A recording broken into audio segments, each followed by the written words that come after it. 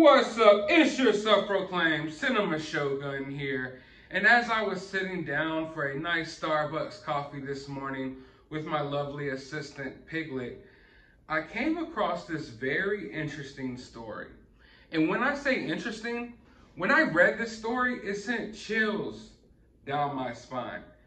And it's the story of a 35-year-old tennis star named Peng Shuai from China who has recently gone missing after accusing a high-ranking official in China of SA.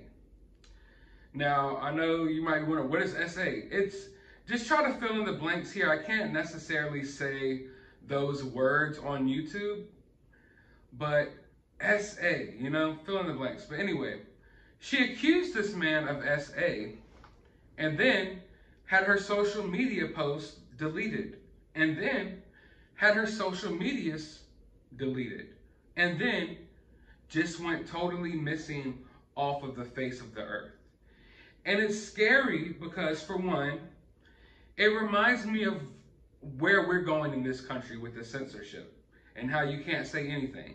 How I can't even say the words SA without my video being taken down. And how me even talking about this topic, my video will probably be suppressed. But she accused this man of SA, and then the post in which she accused him was taken down, social media was deleted, and now no one can find her. And like I said, she's actually a tennis star. This isn't even a, I don't want to say a regular person, but this is someone who's famous, okay? One of the best tennis players in the world.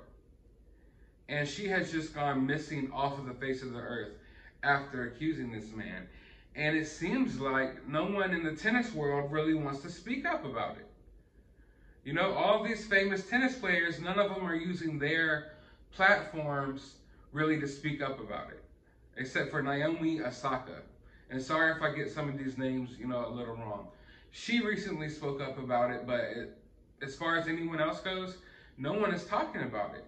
And as I'm looking into it, it just, like I said, it freaks me out knowing that the world's not even a safe place to come out with these type of accusations, to come out and tell the truth about things that happened to you.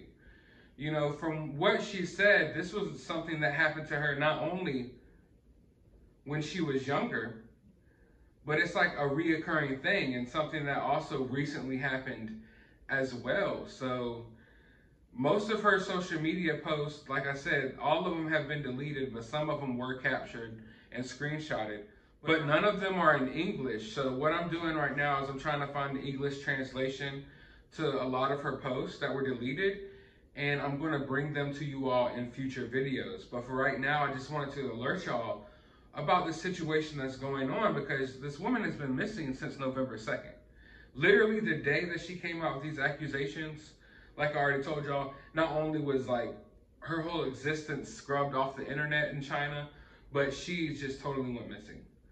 And no one has any idea where she's at, and no one has heard from her since. No one has a clue. I mean, although I, it's not too hard to put two and two together as to probably what happened to this woman. And it's crazy knowing the fact that there's these big, you know, big organizations, big companies, if you will, like the tennis. I don't know exactly what the international tennis companies called, you know, like NBA, NFL. These big organizations, you know, they don't even care about what happens in China. Like if something happens in China, they're not going to say anything about it because they have big markets in China. So that's why the NBA doesn't want to talk about anything that's going on in China. LeBron James doesn't want to mention anything that's going on in China because his shoes are being made in China. So I highly doubt that the Tennis Association, whatever their name may be, I need to look into all that. Like I said, I'm no tennis expert here. But they haven't even come forward to say anything about it. In fact, this story is pretty much kept on the hush so far. And I'm surprised that it hasn't gained more traction. So that's why I wanted to highlight it on my channel to bring more attention to this because if it could happen to a tennis star, you know, what do you think's happening to people who are lesser known? What do you think are happening to the people in that country who aren't as, you know, as popular, aren't as known worldwide? You will never hear their stories. And these people are so powerful that they can literally snap of a finger, this tennis star is just gone.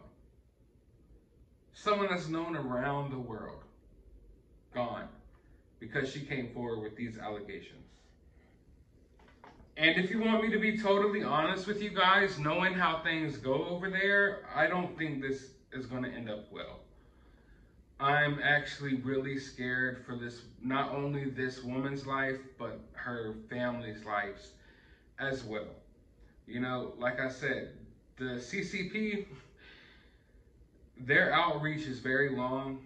They're very powerful and it's surprising that she even came forward in the in the first place.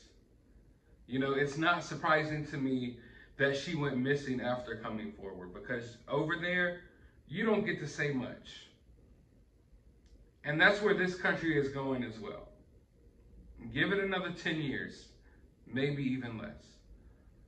But for now, I'm probably going to spend the rest of my day researching into this topic and I'm going to bring you more information about it. And if you all have more information, feel free to share it with me as well. But while you're here, drop your opinions about this down in the comments below. While you're down there, hit that thumbs up button, hit that subscribe button, ring that notification bell. Go to the description of this video. I will have a link to my Cash App if you would like to support the channel. I will also have a link to my other channel. Go subscribe over there. And a link to my Twitter, and you can follow me on there. But as always, find some time out of your day to go pet your dog. All right.